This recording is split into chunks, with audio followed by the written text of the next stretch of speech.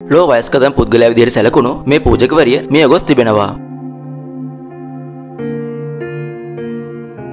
එදා සමසය හතරේදී උපත ලැබුව ඇය මේ යන විට වයස අවුරුදු එකසිය දහටක් වෙලා තියෙනවා. ප්‍රංශය තමයි ඇ ජීවත් වෙලා තියෙන්නේ.